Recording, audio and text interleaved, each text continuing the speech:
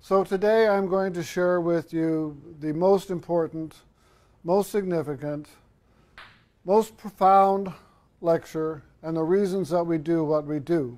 The importance of formatting and documenting your work in the modern language style. You will notice that this is the seventh edition. I will not accept anything less than the seventh edition, which is the most current, up to date, most accurate information available from the Modern Language Association.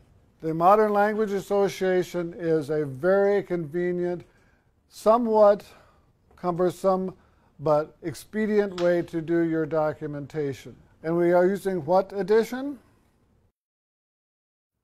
And what edition will we be using, class? Class?